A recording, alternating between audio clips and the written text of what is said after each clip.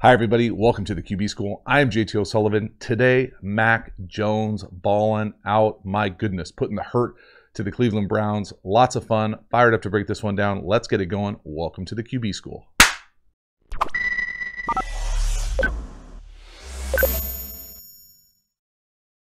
Mac Jones is balling out. Love to see it right here, naked. Going to the bottom of the screen. Big out to the sideline. Watch the corner down here. Just absolutely do him dirty. My goodness. Talk about a lot of things here, but love what the Patriots are doing play calling wise. A bunch of different layers right here, moving the pocket, changing the landmark. Watch 16, secure the edge on the right side. Boom! Get off me. Nobody in the flat, no problems when you got that kind of winner on the perimeter. If that comeback wasn't there, you see the over coming with him. But things to pay attention to that I love that really the Patriots do a better job than probably anybody over the course of the last two decades, in my opinion, is what I'm used to calling run at technique. So many teams, if you run an out, it will be this, or it will be a comeback will be up and out. They do a great job. And I know there are other programs, other organizations, don't freak out, but run at the technique of the corner. So if this corner is widening, this comeback will come at him. And so really that looks like a few different things. It looks like you're kind of going to run like a spray 8 or spray post or whatever. That's really what gets this top action at the top here with the corner. But just the angle of it really distorts a lot of technique in my opinion. Those guys are used to pedaling backwards or shuffling in a straight line. So when you go at their technique like this, it's just a different layer. And I'm not sure I'd want to live in that world, but I feel like they've always lived in that world, and they're, in my opinion, the best at it. Great job by Mac Jones here, throwing on the run. Again, really love what McDaniels is doing. Screen game, changing the landmark, run game, motion, short motion, lots of great stuff. Obviously, Mac Jones playing at an extremely high level. Fun to see all those pieces come together to just put an absolute whooping on Cleveland. Empty, bottom of the screen, get a little corner, beautiful touch, wide open. Again, outstanding design. Love these types of plays where everything is going right to left or left to right. You can see the command at the line of scrimmage with the protection, knows exactly where he's at. They do a nice job getting to empty all game here, especially in the tight red.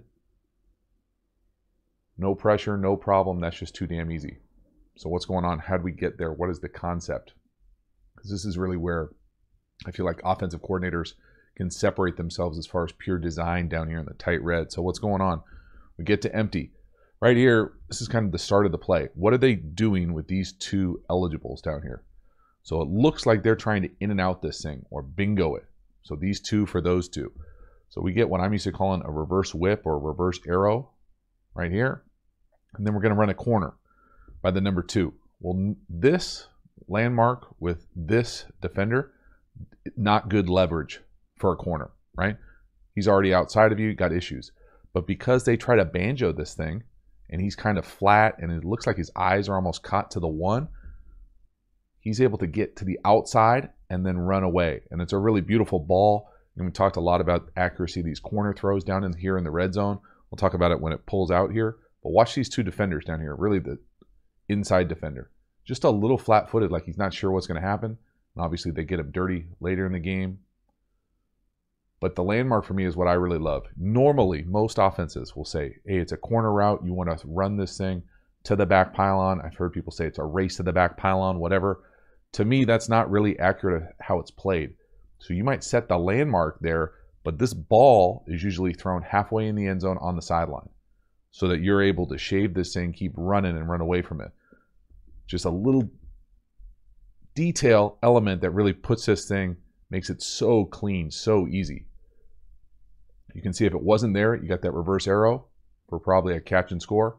Then you've got the over and the comeback coming this way. So everything is right to left.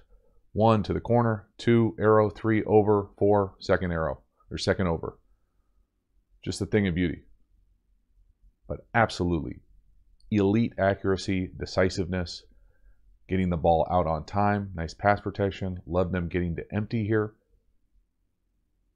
They're only going to bring four. Too easy. Just super smooth. Nice pass protection. You can see if it wasn't there, look at that over coming across 84. High back five, that's probably a touchdown. Second over, probably a touchdown, or second in. Got touchdowns all over the place. A big third and six. We're going to work the option up top. It's not there. Then we're going to come to the over or basic down here to the bottom of the screen.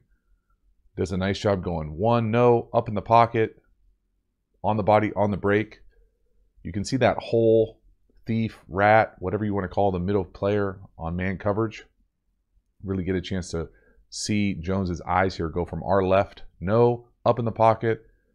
And then when he lets that thing go for 84, you can see 22. 22 is driving that option to our left. Mac Jones up in the pocket, and when he lets this thing go, you can see it's not in the first hole, second hole, almost third hole, all the way across. Look at all those brown defenders. Whoop. Big time third down conversion just lots of moving parts there that Mac Jones has to execute at a really high level. Up top, they've got the little clear and the option. So how these things usually work is usually the guy who's on the ball here will be running either a seven or a go. Then the second one will kind of skip off. So it kind of slows it, and then usually this is an option. If that's not there, you want something coming into that space, and so that's where that in comes. Now, it gets a little bit complicated when there is a rat, thief, whatever you want to call this middle field player, depending on where they come from, the linebacker or secondary spot. But they basically have an extra guy, so you have to navigate that as well. So no to the option, yes to the in basic right behind it. Just nice job by Mac Jones playing, winning from within the pocket. You can see that safety drop down into the hole. No to the option, yes to the in. Again, double in again. Just excellent pocket mobility for Mac Jones. Great base, keeping his eyes down the field, getting through his progression. Everything we ever heard about him on display right here.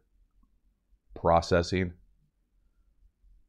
Love it. Not easy to do. You can see him almost catch himself, kind of get up, sees a little. Is he going to take off? Nope. On the body, on the break. Just an absolutely outstanding third down conversion. Another one here, third and nine. This time we're going to use motion again at the bottom of the screen, and we're throwing a little fade ball down here to the bottom. One-on-one to the field, bump. Let's take our shot. Great win at the line of scrimmage too at the wide receiver. Just whoop, see ya. It's a lot of space. Drop it right into the bucket. That's just a huge third down and nine conversion. Making these types of throws, these types of decisions on third down, executing at this level, pretty special. Again, showcasing a bunch of different throws to touch, decisiveness, getting through your reads. Right here, great vision. Again, I love the play design, offensive architecture. You go from two by two here. The short motion allows the bump. See the adjustment to motion. Go to school on the motion. Get the matchup you want down here to the bottom of the screen. Let it go. Because if it wasn't there, where else would the ball go? You know, there's not a lot there. Maybe the flat, although I would make the argument that the back probably should be picking that blitzer up. But there's not a lot there. You don't make this throw. And that's a beautiful throw in the bucket. Nothing easy about that throw either because it's kind of a unique angle. You don't make that type of fade throw, almost like an inside fade, but with nobody else out there. Again, he's almost always lined up to his left, does a really nice job, like the little half pedal Look at that back foot in the ground, lined up to his left, no wasted motion. Knows exactly what he's doing and has the accuracy to finish it. Just a thing of beauty. Really playing at an extremely high level. Fun to see. Halftime, you dig the channel and you haven't already, please subscribe, hit the bell, get the notifications. It lets you know when we go live, when we put out new content. I appreciate the support for the channel. Then if you want even more quarterback school content, you cannot get enough hop over to the Quarterback School Patreon community, long form videos over there, really trying to create the environment of exactly what it's like in an NFL quarterback room. So usually take full games, break them down, talk details, run game, pass protection, defensive tendencies, all that stuff. If you're interested in that, hop over to the Quarterback School Patreon community, support the show. And then finally, if you're looking for the absolute premium content, the things I'm most proud of here through the channel, check out the courses. Have a number of different courses, have a free course on the quick game have courses on RPOs, how to beat every coverage, pass protection, tempos, you name it.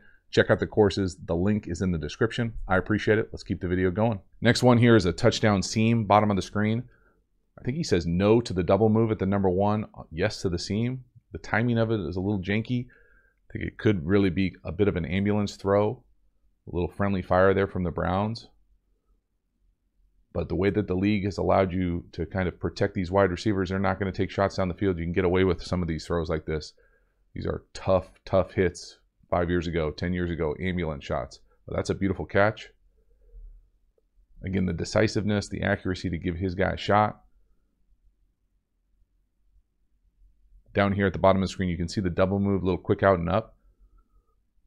Nice job bear hugging the seam, the number two. Mac Jones just really impressed me specifically with his footwork, how he's lined up to his left. He's just ready to go. All his cleats are on the ground. I mean, again, that is Sunday open. Look at that seam down here at the bottom of the screen. The number, right, running up the numbers. And he's being grabbed, held. That's open. Throw him open. Protect him as best you possibly can. Tight windows in the red area. Just a really a thing of beauty. Again, what Mac Jones is doing. Decisive, footwork, great play calling, design, accurate, lots of good stuff. Patriots, my goodness, got it going for sure. Third and nine. This one, probably the only one over the course of the game that I was like, man, I wish he could have a chance to have this one back. Again, they do the double move, double ins down here at the bottom of the screen. Nothing there easy, I will say, for as much as I love so much of what they do offensively, really in the screen game and allowing Mac Jones to be decisive. This was one of those plays where I wish he would have been in a five step drop. And I think the five step drop for me allows this to be a massive play because to me, you really only have one shot here. Big third and long. They coming up here and it's really almost like a double move. And he's got all this space to throw this thing. Two ends down here at the bottom of the screen. Neither of the ends are there. But if you have enough time, this thing is going to be a monster hit. Now, what does that mean you have to do? That means you have to be able to take five from gun or seven from under center, and you got to hitch and you got to hold on. Now, the reason I think you can get away with this, how they do pass pro here, is we get double chips, chip, chip. We got seven person protection, and really the deficiency where we take the L right here, the nose crosses the center's face and basically beats a double team. He beats the center and the left guard. If that doesn't happen, you've got this post down the field. And I just wish the footwork would have maybe made that the priority. Again, without being in the room, don't know exactly what they're thinking, but you can see that double move up top. It's there, right? He's right on the Patriots' face. Throw that thing down here at the opposite 40 and let it go. That's a hard throw to anticipate. You really got to see him come out of it and then throw it. But by that time, he's already got somebody at his feet. So if he took five instead of three, I think you get a little bit more depth. But man, if you don't take an L at left guard center on the double team, it's got a shot to be a massive play. One more time. And I get it. Super nitpicky. And this is why you watch film, to see where these opportunities come up. Again, this is a little bit of, to me, of a bit of a wonky coverage. This looks like a type of man coverage with that lurk, whatever you want to say, you know, however you want to describe it. I'm not going to pretend to put the time study to know what the Browns are doing every single snap, but it looks like he's coming down. Looks like we get man everywhere else. And then normally I would say that this player is getting to the middle of the field, but it almost looks like he's staying in like a half field or maybe trying to double over the top. Either way, bit of a unique spacing issue here, but I still think, gosh, you'd love to be able to get that shot, especially on a third and long like this. Few opportunities like that where you see them kind of disconnected as far as what I would consider the timing of the footwork, because he's at the back of his drop right there. And that post is nowhere ready to be thrown. You can see it's a long developing play, no doubt about it. But the chips give him a time, and then you would hope that that double team on a cross-face nose would be able to hold up a little bit better than that. Again, watch that pass protection. 85-25 chip. Shoot, the tight end stays in the whole time and that nose is really the issue. Oh, that's just a bummer because it's there. I mean, those are frustrating because you dial him up, you got it. Looks like he's trying to wait for him. Got all that space, but he's got to take off. You can see his eyes have to go down. So maybe if he takes a five step drop, but that's a big maybe. Still think there are even more plays in the vertical game for him as he gets more and more comfortable with the anticipation, timing, all those things come together. Right here, this is a beautiful throw. Little two post double clear out with a little corner down here to the number three. Love how they use motion here. You can see how it's going to really distort the underneath coverage with 4 and 51 defensively. So we bring the tight end in motion. So we go from 2 by 2 to 3 by 1. Okay, 44 is blitzing. So he's coming off the edge. So they're in some variation of man coverage. Well, when they do this, so let's pretend 44 is not there. These two have these two. So when he comes inside of him, you can see them now. Now he's trying to pass this thing off. He goes, all right, 51, you've got the vertical at number three. So you got to run with this guy, and I'll take the back. But we're running a corner here. So he comes in, and if you're running a corner off this leverage, yes, please. And it's a beautiful throw, no doubt about it. But it's a great manipulation of the defense through the formation. So again, what that motion does with 4 and 51. Watch them, they're communicating. Some sort of banjo call. Inside, you got them, look at point at each other. Yeah, yeah, yeah. You got it, you got it. I got it. What? Who? Yep. Good luck. And that's a dime now, no doubt about it. And I know my man Desmond knows I love the dovetail. Now he sort of dovetails. Dovetail, not as lined up as he normally is.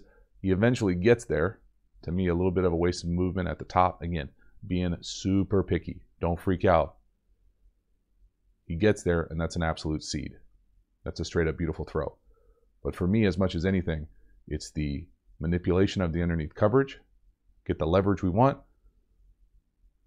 Obviously, helps to have tight ends who can do that. And that's an absolute dime. So, from the press box here,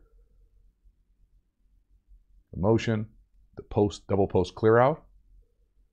Got him. I mean, that's a beautiful throw. My goodness. Love to see the touch accuracy down the field. Coupled with the play design, coupled with their ability to run the rock, play action, screen. Whew. Pat's got it rolling again. My goodness. Last one here, third and three. Touchdown. Get to empty again. This time, Hunter Henry on the crazy seven move little seam slant. Mac Jones wise, though, this is again great offensive architecture, but quarterback execution wise, watch his eyes. He's looking to the left. He's super decisive, back foot in the ground. He knows exactly what he's doing coming back to Henry. Check that move out. I'm, I'm nervous to even count. Let's see if we can count. One, two, three, four, five. Somebody's been watching Hunter Renfrow. My goodness.